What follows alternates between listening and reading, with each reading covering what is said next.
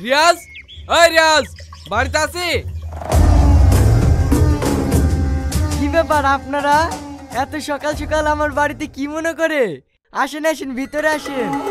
আমরা এখানে বসতে আসিনি। খুব বড় মস্তান হয়ে গেছিস না? যাকে ইচ্ছা তাকে মারবি। ওটা তো আমার রোজগার কাজ। অন্য কথা থাকলে বলেন। দেখেছেন স্যার শালা জানোয়ারের কথা শুনেছেন?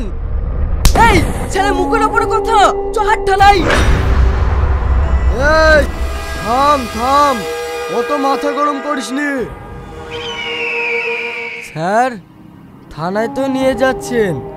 ধরে রাখতে পারবেন তো? বাবার ফোন আসলে তখন আবার ছেড়ে দেবেন না তো? পটলের ছেলেকে মেরেছি? ও না বাসা। যদি মারা যায়, কমসে কম চোদ্দ বছরের জেল। তোর কোনো বাপ বাঁচাইতে পারবে না। এই, গাড়িতে তোল।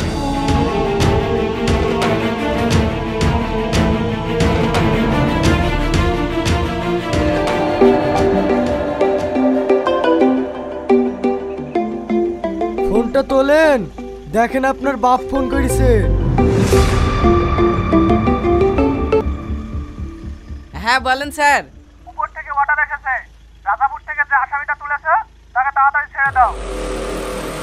ঠিক আছে স্যার। এই ড্রাইভার গাড়ি থামাও।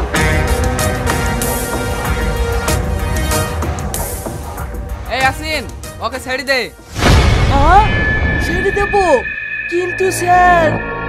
বেশি কথা বাড়াসনি আমি যা বলছি তাই কর। ঠিক আছে স্যার।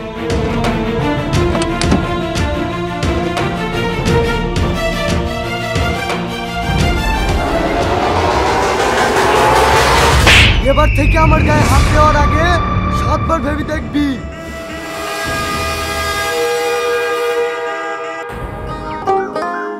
আব্বা আব্বা দাদির পেশেন্ট আবার বেরিয়েছে। আরে ছি, আমাকে তো সেই সকালবেলা বলেছিল ওষুধ আনতে। আমার তো মনেই নাই। যা মতো যা, তুই তাড়াতাড়ি জীবন ডাক্তারের কাছ থেকে পেশেন্টের ওষুধগুলো লেসি দে।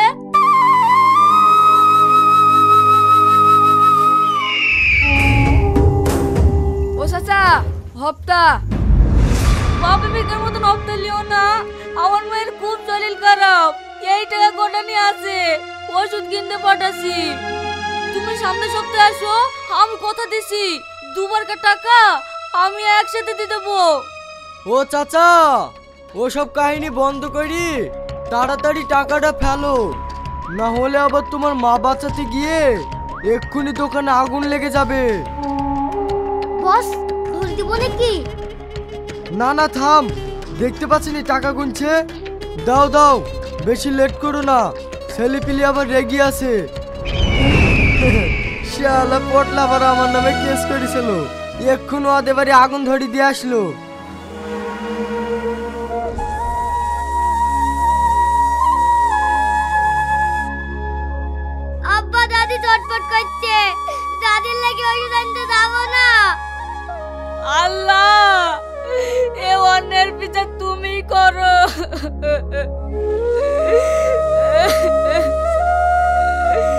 কাঁদিস নি ভাই।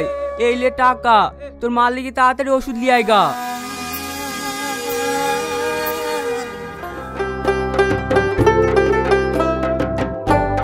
এই ওকে ছেড়ে দে ছেড়ে দে। চেক করতে হবে না। বস। আরে ওখানে বসছি কেন? চেয়ারে বস। না না আমি এখানেই ঠিক আছি। আরে তোর সাথে কিছু কথা আছে বলে ডেকে পাঠিয়েছি। চেয়ারে বস। দিয়ে বল তোদের এলাকার খবর এখন সব ঠিকঠাক তো? হ্যাঁ হ্যাঁ সব ঠিক আছে। আপনার হাত আছে আমার মাথার উপরে। কে কি করবে আমার? সে ঠিক আছে। থানা থেকে গতকাল ফোন করেছিল। তুই বলে কার ঘর পুড়িয়ে দিয়েছিস? হ্যাঁ ওই শালা আমার নামে কেস করেছিল। তার লেগে ওর ঘর পুড়ি দিয়েছি। কেন দাদা কোনো সমস্যা হয়েছে নাকি? আরে না না ওইসব নিয়ে তো চিন্তা নাই। আমি সব সামনে নিয়েছি। শোন ওই যে তোদের এলাকায় স্কুলের পাশে একটা আম বাগান আছে ওখানে কেউ বাস করে নাকি রে? হ্যাঁ করে তো। ওই বাগানের মধ্যে একটাই বাড়ি আছে সালমা বুড়ি তার লাতনি খেলি ওইখানেই থাকে। বলছি রিয়াজ ওই জায়গাটা দখল করে দিতে হবে যে। এই জন সাহেব বলছে ওখানে একটা প্লাস্টিক ফ্যাক্টরি তৈরি করবে। হয়ে যাবে দাদা আপনি বলছেন আর সেই কাজ কোনোদিন বাকি থাকে জায়গা কবে খালি লাগবে তাই বলেন। ঠিক আছে তাহলে। জায়গাটা কালকেই খালি করে দে।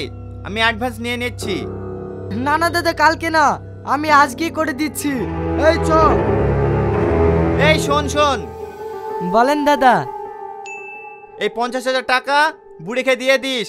আর এই দলিলে ভালো করে বুড়ি টিপটা নিয়ে নিস। আমি নেতা কাউকে ঠগাই না। এই টাকাটা তোরা রাখ। রাতে পার্টি করিস। না না ঠিক আছে। এই কাজের জন্য আর টাকা লাগবে না। আমি ছেলেপিলিকে পার্টি দিয়ে দেবো। শুধু আপনি পাশে থাকলেই হবে।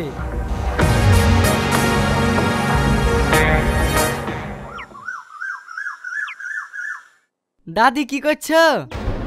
এ তো বিড়ি পাচ্ছি এই বুড়ি তুই ঘরে যা। বলছি দাদি বাড়িটা খালি করতে হবে যে। তোরা এসব কি বলছিস? এই বাড়ি ছেড়ে দি বাপ মা মারা মেয়েটাকে নিয়ে আমি এখন কোথায় যাব? আরে এমনি এমনি যেতে বলছি না দাদি। এই লো পঞ্চাশ হাজার টাকা। আমাদের এলাকায় যেখানে খাসের জায়গা আছে সেখানে কি চালাকারি বাস করো গা। কেউ কিছু বললে আমি দেখি নেব। বাপ তোদের কাছে আমি অনুরোধ করছি। তুই এরকম করিস নি। তোর দাদু মরে যাওয়ার পরে এই বাড়িটি কি আমার শেষ সম্বল? আমি এই বাড়ি ছাড়তে পারব না। দাদি আমার কথা শুনেছ নিশ্চয়? সূর্য আঙুলে ঘৃণা উঠলে আঙুল কীভাবে ব্যাখ্যা করতে হয় সেটা আমি খুব ভালো করেই জানি। এই তুই দাঁড়িয়ে কি করছি যা দাদি সুন্দরী নাতনি নাতনিটাকে ঘর থেকে বের করে লিয়াই আমি তোমাদের কাছে হাজার করছি। তোমরা আমার নাতনিকে ছেড়ে দাও। সর বুড়ি। ওগো তোমরা কে কোথায় আছো? আমার নাতনিকে বাঁচাও গো। আমাকে ছাড়। এই ছাড় আমাকে ছাড় ও দাদি নিয়ে যাও না। তোমরা যা বলব আমি তাই শুনব। এই তো, দাদি এবার লাইনে এসে, এই, কালির প্যাটে দে। লাও দাদি, লক্ষ্মী মেয়ের মতো, এখানে একটা টিপ দি দাও।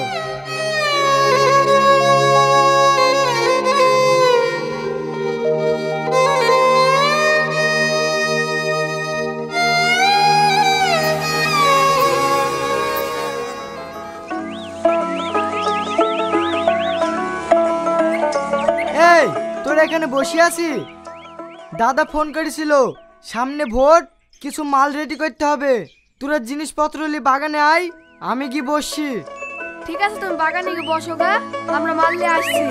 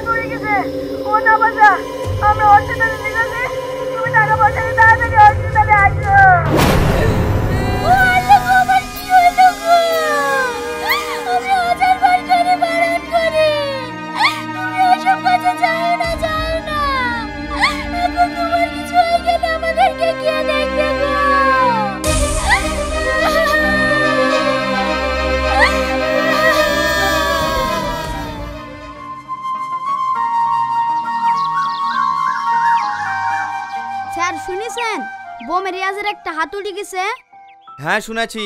সামনে ইলেকশন এই সময় ওর সাথে কোনো যোগাযোগ রাখার দরকার নাই। অত বমি একটা হাত উড়িয়ে গেছে, ওর দ্বারা আর কিছু হবে না। ও যদি ফোন করে আমার কথা জিজ্ঞেস করে, তাহলে বলবে দাদা মিটিংয়ে ব্যস্ত আছে। ঠিক আছে, স্যার।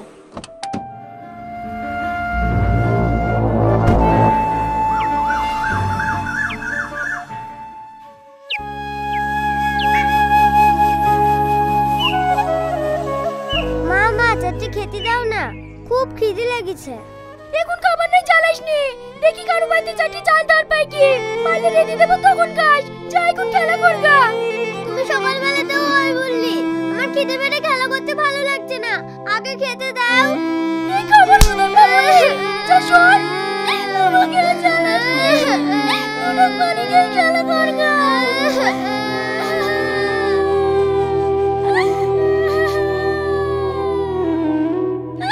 তুমি আমার উপর রাগ করে মেয়েটুকে এইভাবে মারছো কেন?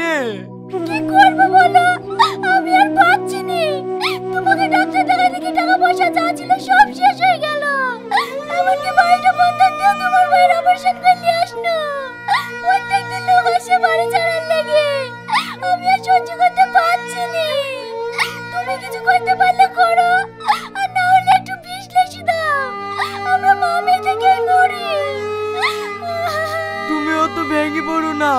একটু শান্ত হও। দাদার কাছে গিয়ে আমাদের কষ্টের কথা বললেই ও ঠিক একটা ব্যবস্থা করে দেবে। হ্যাঁ কেমন ব্যবস্থা করতে জানি। তোমার সাথে এত বড় একটা দুর্ঘটনা ঘটে গেল। কই একবার দেখতে আসলো না? তুমি এত করে ফোন করছ। কই একবার তো ফোনটাও তুলছে না। সবাই মুখে। বিপদের সময় কেউ পাশে থাকে না। আরে না গো দাদা আমাকে খুব ভালোবাসে। ও হয়তো আমার উপরে অভিমান করে আছে। তার লেগে ফোন তুলছে না। তুমি একটু আজিজকে ডেকে দাও না। কষ্ট মষ্ট করে যাই গেলে সব ঠিক হয়ে যাবে। ঠিক আছে ডাকছি।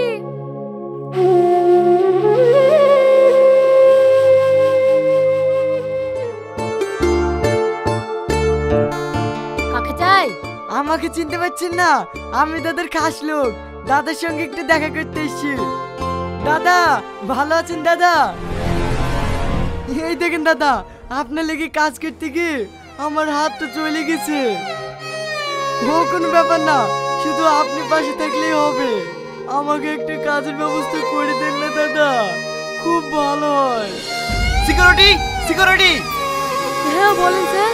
এসব আবল তেমন লোককে ভিতরে ঢুকতে দিস কেনে? দাদা আপনার জন্য আমি এত কিছু করেছি। আর আজ আমি আপনার কাছে আমল তেমন হয়ে গেলাম। দেখ তুই আমার লেই করিসি, আমিও তোর লেই করিসি। তোকে আর আমার দরকার নাই, তুই এখন আসতে পারিস। সিকিউরিটি, বাইরে বের করে দাও। আমাকে আর কষ্ট করে বের করতে হবে না। আমি একাই যাচ্ছি।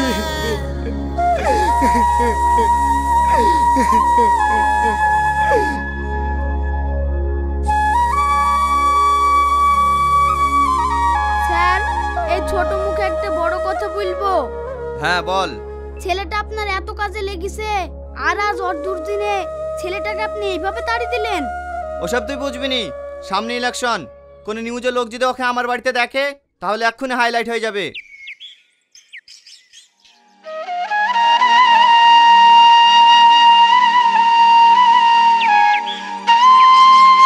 কি ব্যাপার?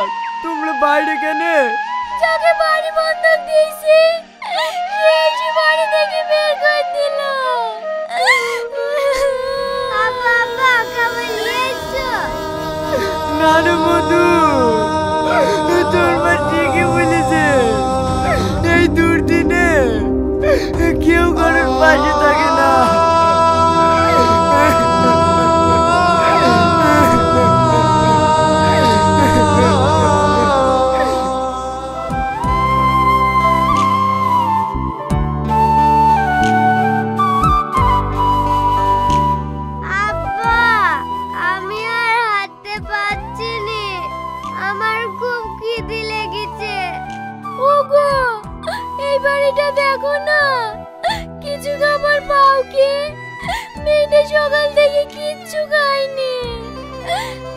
আছে চলো দেখি।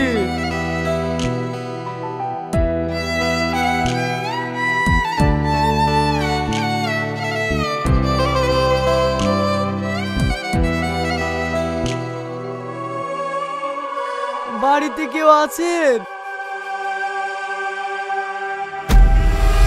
কি ব্যাপার তুমি? দাদি?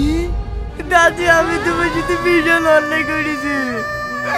তুমি আমাকে ক্ষমা করে দাও। কাঁদো না ওঠো?